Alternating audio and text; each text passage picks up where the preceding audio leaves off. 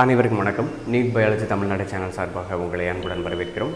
இன்றைக்கி நம்ம பார்க்க போகிற டாபிக் என்ன அப்படின்னா hyper sensitivity over active immune response மிகை உணர்மை அதாவது ஹைப்பர் சென்சிட்டிவிட்டி அப்படின்னு என்ன அர்த்தம்? ஹைப்பர் அப்படின்னா அதிகமான அளவு. சென்சிட்டிவிட்டி அப்படின்னா அதனை அதை நாம் உணர்ந்து கொள்வது. ரைட்டா இப்போ சாதாரணமாக ஒரு சின்ன டஸ்ட்டு பார்ட்டிகிள் இருந்துச்சு அப்படின்னா அந்த டஸ்ட் பார்ட்டிகிள் வந்து இந்த ரூம் ஃபுல்லாக ஸ்ப்ரெட் ஆகி சுற்றிக்கிட்டு இருக்குன்னு வச்சுக்கலாம். இந்த ரூமுக்குள்ளே ரெண்டு பேர் இருக்காங்க. அந்த ரெண்டு பேரில் ஒருத்தருக்கு மட்டும் வந்து பார்த்திங்கன்னா அந்த டெஸ்ட்டு ஒத்துக்க மாட்டேங்குது.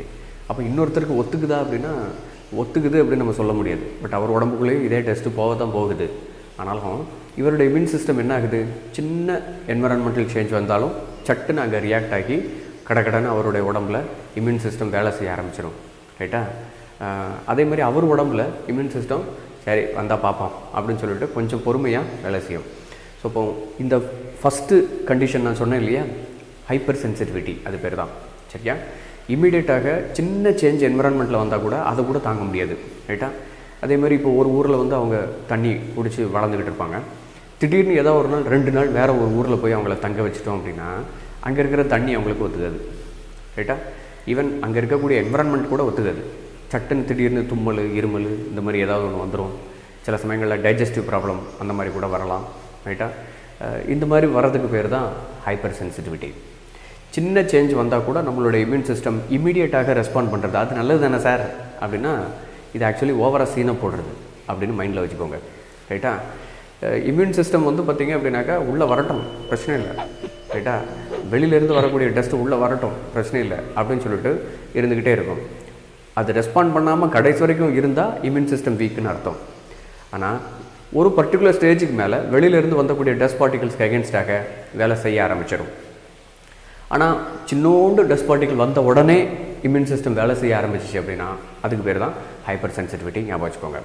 இப்போ இந்த கான்செப்ட் உங்களுக்கு புரிஞ்சிருக்கும்னு நினைக்கிறேன். ஃபர்தராக இதுக்கு சம்மந்தப்பட்ட டெஃபினேஷன்ஸ் அதுக்குண்டான காரணங்கள் அதுக்குண்டான சிம்டம்ஸ் என்ன என்னென்ன சப்ஸ்டன்ஸ் எல்லாம் வந்து இந்த ஹைப்பர் சென்சிட்டிவிட்டிக்கு காரணமாக இருக்கிறது அதுக்கு எக்ஸாம்பிள்ஸ்லாம் என்ன இந்த அலர்ஜி மூலமாக வரக்கூடிய டிசீசஸ்லாம் என்ன? அதுக்கு என்னென்ன காரணங்கள்? அப்படிங்கிறதெல்லாம் நம்ம படிப்போம். ஃபர்ஸ்ட் ஆஃப் ஆல் வந்து பார்த்திங்க அப்படின்னா சம் பர்சன்ஸ் இப்போ நான் சொன்னதை அப்படியே இங்கிலீஷில் நான் எழுதியிருக்கேன். இதுக்கு அடுத்து தான் டெஃபினேஷனுக்குள்ளெல்லாம் நம்ம போக போகிறோம் some persons are sensitive to particles in the environment வெளியில் இருக்கக்கூடிய சூழ்நிலையில் இருக்கக்கூடிய சில பொருட்கள் அதற்கு எதிராக சிலர் ஒவ்வாமையை கொண்டு காணப்படுகிறார்கள்.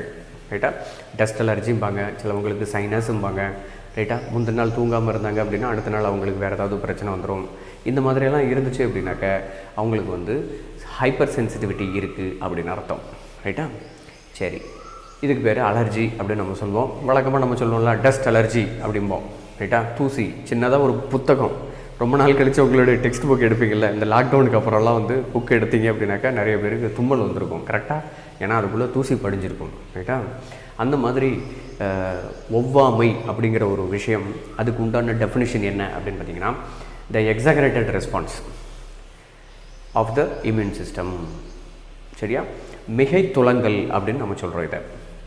மிகை துலங்கல்கள் அப்படி சொல்கிறோம் எக்ஸாகரேட்டட் அப்படின்னா என்ன அர்த்தம்? ரொம்ப அதிகமாக சரியா? சாதாரண ஒரு விஷயத்தை நீட்டி முழக்கிறது அப்படிம்பாங்க. சரியா? அதில் ப்ரிஃபிக்ஸ் சஃபிக்ஸ் ஆட் பண்ணி கச்சா மச்சான்னு சொல்கிறது இந்த புரணி அப்படிம்பாங்கள்ல அதுக்கு வந்து எக்ஸாக்ரேட்டடு ஃபேக்ட் அப்படின்னு சொல்லுவாங்க.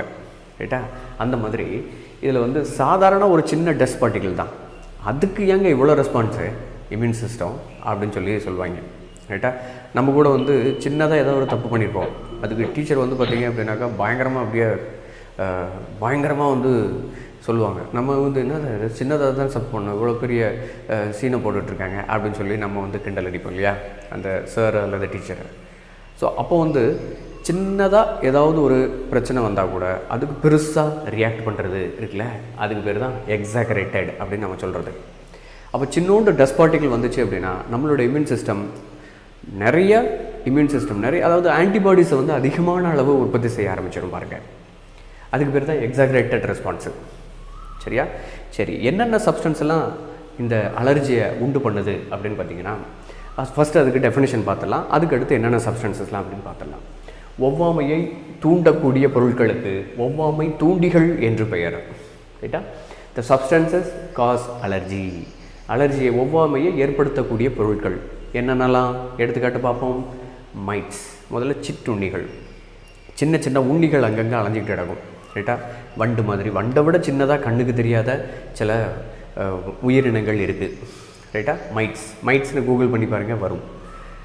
அதுக்கப்புறம் டட்ஸ் டஸ்ட்டு கூட சேர்ந்த மைட்ஸு புரியும்னு நினைக்கிறேன். நெக்ஸ்ட்டு வந்து போலன் மகரந்த துகள்கள் இருக்குல்ல அது. இந்த மகரந்த துகள்கள் வந்து பார்த்திங்கன்னா இது ஒரு இன்ட்ரெஸ்டிங்கான ஒரு விஷயம். நார்மலாக சிலவங்களுக்கு வந்து இந்த வீசிங் ட்ரபிள் அப்படின்னு சொல்லிட்டு ஒன்று சொல்லுவாங்க. இந்த வீசிங் ட்ரபிளுக்கும் போலனுக்கும் சம்மந்தம் இருக்கா சார் அப்படின்னா ஆமாம் இருக்குது இந்த வீசிங் ட்ரபிள் அப்படிங்கிறது வந்து ஒரு பர்டிகுலர் சீசனில் மட்டும் அவங்களுக்கு அவங்களுக்கு வந்துட்டு போகும். அப்போ எந்த சீசனில் அவங்களுக்கு வீஜிங் ட்ரபிள் வருது அப்படிங்கிறதும் எந்த சீசனில் சில பிளான்ஸு பாலினேஷன் பண்ணுது அப்படிங்கிறதும் சேமாக இருக்கும்.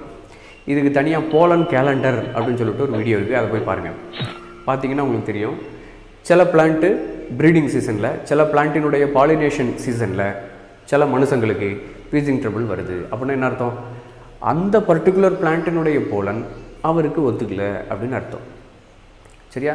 வழக்கமாக வந்து குளிர் தான் வீசிங் ட்ரபிளுக்கு காரணம் அப்படிலாம் நினைக்கப்படாது. ரைட்டா சில சம்மர் சீசனில் கூட சிலவங்களுக்கு இந்த மாதிரி வீசிங் ட்ரபிள் வரும்.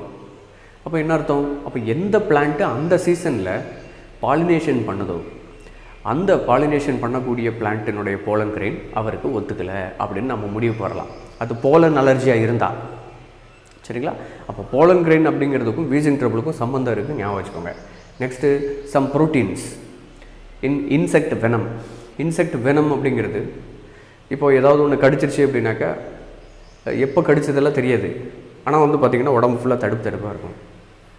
அதே மாதிரி சில சமயங்களில் மைட்ஸ் அப்படின்னு சொல்லுவோம்ல இந்த மைட்ஸ்னு சொல்லியிருக்கோம். இதுவுமே வந்து பார்த்திங்க அப்படின்னா மண்ணில் விளையாடிட்டு வருவாங்க. சின்ன பசங்க. அப்படி விளையாடிட்டு வரும்போது அந்த இடத்துல மைட்ஸ் ஏதாவது இருந்திருக்கலாம். அல்லது இன்செக்டினுடைய சின்ன இன்செக்ட் ஏதாவது ஒன்று கடிச்சு வச்சிருக்கலாம்.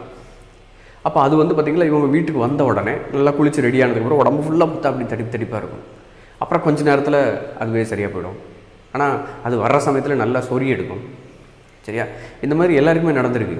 ரைட்டா ஸோ இப்போ அதெல்லாம் வந்து அலர்ஜிக்கு காரணம். அது என்ன பண்ணியிருக்கு அப்படின்னு பார்த்தீங்கன்னா அந்த இன்செக்ட் வினம் இருக்கு இல்லையா? கொஞ்சோண்டு வினம் செத்து போகிற அளவுக்கு வினம் கிடையாது. கொஞ்சோண்டு வினம் அது வந்து பார்த்திங்கன்னா உடம்பு ஃபுல்லாக ஜிகு ஜிகுன்னு ஸ்ப்ரெட் ஆகிட்டு இருக்கிற சமயத்தில் அதுக்கு எகென்ஸ்டாக நம்மளுடைய நோய் எதிர்ப்பு சக்தி சட சடன்னு ரியாக்ட் பண்ணி அதிகமான அளவு ஆன்டிபாடிஸை உற்பத்தி செஞ்சுருக்கும். அதனால தான் வந்து இந்த வினம் அப்படிங்கிற ஒரு விஷயத்த அலர்ஜிக்குள்ளே வச்சோம். இன்செக்ட் வினம் ஸ்மால் இன்செக்ட்டுக்கு உண்டான வினம் சரிங்களா? ஞாபகம் வச்சுக்கோங்க. ஸோ இது எல்லாமே அலர்ஜென்ஸ்க்கு எக்ஸாம்பிள் சரி. இப்போ இந்த அலர்ஜி வந்ததுக்கப்புறம் ஒரு ஆள் உடம்புல என்னென்ன சேஞ்சஸ்லாம் நடக்கும் அப்படிங்கிறத நம்ம பார்க்கலாம். Allergen is an antigen causes allergic reactions நம்ம உடம்புல அலர்ஜனுக்கு எதிராக உருவாகக்கூடிய ஒரு ரியாக்ஷனுக்கு பேர் அலர்ஜிக் ரியாக்ஷன்ஸ் ரைட்டா ஒவ்வாமை வினைகள் அப்படின்னு தமிழில் நம்ம சொல்லுவோம் begin after few seconds to half an hour ரைட்டா உடனே வந்து சில இடங்கள்ல ஆரம்பிக்கும். எங்கே டஸ்ட் பார்ட்டிகிள்ஸ் இருந்துச்சுன்னு வச்சுக்கோங்க. நீங்கள் வந்து ஒரு லைப்ரரிக்கு போகிறீங்க ரொம்ப நாளாக எடுக்காத புத்தகத்தை எடுத்து வாங்கின்னு திருப்புறீங்கன்னு வச்சுக்கலாம்.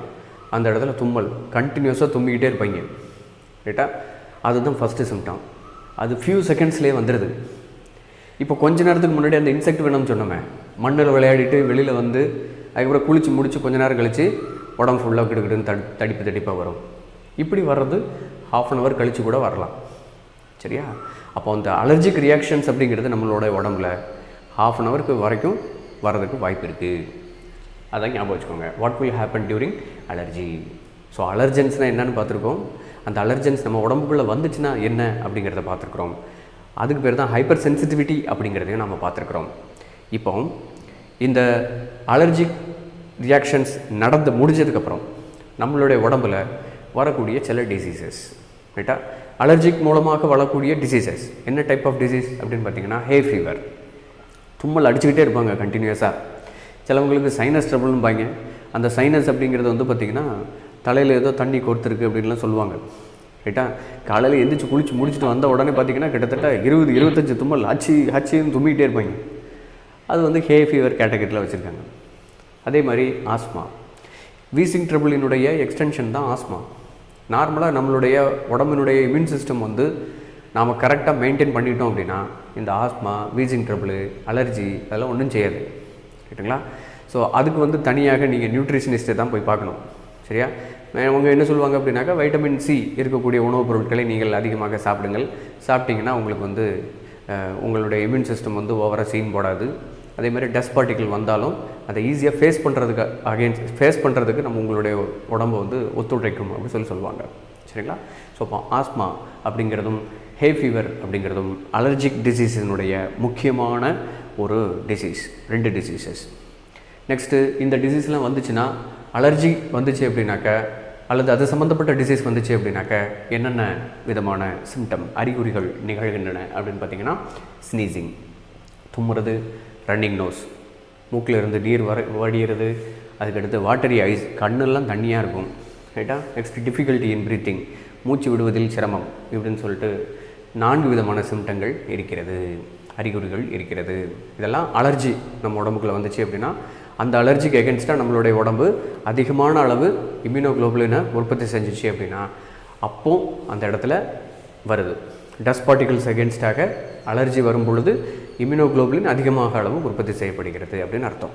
அது உற்பத்தி ஆனதுனால தான் அலர்ஜியே வந்திருக்கு. ஞாபகம் வச்சுக்கோங்க. ரைட்டா சரி. இப்போ இதுக்கு என்ன ரீசன் அப்படிங்கிறத இப்போ நான் லைட்டாக சொன்னேன். அதை இன்னும் கொஞ்சம் எக்ஸ்டெண்ட் பண்ணி நான் சொல்கிறேன் இம்யூனோக்ளோபுலின் உற்பத்தி ஆகும்னு சொன்னேன். அதுலேயும் இம்யூனோக்ளோபுலின் இ e, எப்சிலான் அப்படின்னு சொல்லிட்டு ஒரு டைப் ஆஃப் இம்யூனோக்ளோபுலின் இருக்குது. ஞாபகம் வச்சுக்கோங்க. ரைட்டா this is meant about the eosinophil அப்படிம்பாங்க. ரைட்டா the production of eosinophil will be increased in our body and those eosinophil will be resistant against the dust particles. சரிங்களா? டஸ்ட் பார்ட்டிகல்ஸை வெளியில் அனுப்புறதுக்கு ட்ரை பண்ணும். அப்போ நம்ம உடம்புல டஸ்ட் பார்ட்டிகல்ஸ் வந்த உடனே இம்யூன் சிஸ்டம் வந்து அதிகமான அளவு ஐஜிஇயை உற்பத்தி செஞ்சுருப்பாருங்க அதுபோக மாஸ்ட் செல்ஸ் மாஸ்ட் செல்ஸ் அப்படின்னு சொல்லிட்டு சில டைப் ஆஃப் செல்ஸ் இருக்குது அதுவுமே அதிகமான அளவு உற்பத்தி செய்யப்படுகிறது. அந்த மாஸ்ட் செல்ஸ் தான் வந்து பார்த்திங்கன்னா ரெண்டு முக்கியமான சப்ஸ்டன்சஸ் ப்ரொடியூஸ் பண்ணுது. அது என்ன அப்படின்னு பார்த்தீங்கன்னா ஹிஸ்டாமைன் அண்ட் செரட்டோனின் சரியா? இந்த ஹிஸ்டாமைன் அண்ட் செரட்டோனின் வந்து அதிகமாக அந்த அளவுக்கு உற்பத்தி ஆகுது அப்படின்றது நம்மளுடைய இம்யூன் சிஸ்டம் அந்த இடத்துல அதிகமாக வேலை செய்கிறது அப்படின்னு சொல்லிட்டு நம்ம மீன் பண்ணிக்கலாம். ரைட்டா அதிகமாக அப்படின்னா அதிகமாக வேலை செஞ்சால் நல்லது தான் ஓகே பட் தேவைக்கு அதிகமாக வேலை செஞ்சிச்சுன்னா தான் அதுக்கு வேறு அலர்ஜி ஞாபகம் வச்சுக்கோங்க. அப்போ நம்ம என்ன பண்ணுறோம் சார் இவன் காலையிலேருந்து தும்பிக்கிட்டே இருக்கான் சார். டஸ்ட் அலர்ஜியாக இருக்குமோன்னு பயமாக இருக்குது சார். அப்படின்னு சொல்லிவிட்டு நீங்கள் டாக்டர்கிட்ட போய் சொன்னீங்கன்னா அவர் என்ன பண்ணுவார் அப்படின்னா அவர் ஒரு இன்ஜெக்ஷன் கொடுப்பாரு. அவர் என்ன இன்ஜெக்ஷன் கொடுப்பாரு அப்படின்னா இந்த ஐஜிஇயை சப்ரஸ் பண்ணுறதுக்கு ஹிஸ்டாமின் அண்ட் செரட்டோனினை சப்ரஸ் பண்ணுறதுக்கு சில மருந்து பொருட்களை கொடுப்பாங்க. அந்த மருந்துக்கு என்ன பேர் தெரியுமா? ஆன்டி ஹிஸ்டாமைன் ஞாபகம் வச்சுக்கணும். ரைட்டா ஹிஸ்டாமைன் ஓகே அது இம்யூன் சிஸ்டத்தை இன்டியூஸ் பண்ணுறது ஆன்டி ஹிஸ்டாமின் அர்த்தம்? அவர் கொடுக்குற மருந்து இந்த ஹிஸ்டோமனை போய் நியூட்ரலைஸ் பண்ணி ஹிஸ்டாமின் செரட்டோனின் ஐஜிஇ இதெல்லாம் சப்ரஸ் பண்ணி வச்சிரும். சப்ரஸ் ஆச்சுன்னா என்ன ஆகும் அகைன்ஸ்ட் அலர்ஜி அப்படிங்கிற ஒரு விஷயம் வராது. அதுக்கு உண்டான சிம்டம்ஸ் வந்து அங்கே எக்ஸ்ப்ரெஸ் ஆகாது. புரியுதுங்களா? ஸோ இதுதான் வந்து முக்கியமான ரீசனாக நாம் கன்சிடர் பண்ணிக்கணும். அப்போ இந்த வீடியோவில் அலர்ஜினா என்னது? ஹைப்பர் சென்சிட்டிவிட்டினா என்னது? நம்மளுடைய இம்யூன் சிஸ்டம் டஸ்ட் பார்ட்டிகல்ஸ் அல்லது நான் லிவிங் திங்ஸுக்கெல்லாம் எதிராக எவ்வாறு செயல்படுகிறது அப்படின்னு பார்த்தோம். அலர்ஜன்ஸ்னால் என்னது? அதுக்கு உண்டான எக்ஸாம்பிள்ஸ்லாம் என்னது? அலர்ஜி எப்படி நம்மளுடைய உடம்புல வருது? அப்படி வருவதன் மூலமாக என்ன டிசீஸ் அது உண்டாக்குது? அதே மாதிரி அது உருவாவதற்கு என்ன காரணம்? அதை எவ்வாறு தடுக்கலாம்? அப்படிங்கிறத பற்றி நம்ம பேசியிருக்கிறோம். மேலும் பல தகவல்களை தெரிந்து கொள்வதற்கு நீட் பயாலஜி தமிழ்நாடு சேனலை சப்ஸ்கிரைப் பண்ணுங்கள் நன்றி வணக்கம். பலருக்கு சேவை செஞ்ச நீயும் ஒரு ஹீரோடா. ஒரு கைப்பிடி சோறானாலும் ஷேரு செஞ்சு பாருடா.